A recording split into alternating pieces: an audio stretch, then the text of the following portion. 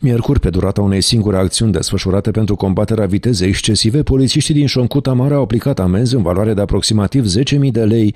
Din cele 19 sancțiuni, aproape toate au fost aplicate șoferilor ale căror autoturisme au fost înregistrate de aparatura radar că se deplasau cu viteză peste limita legală.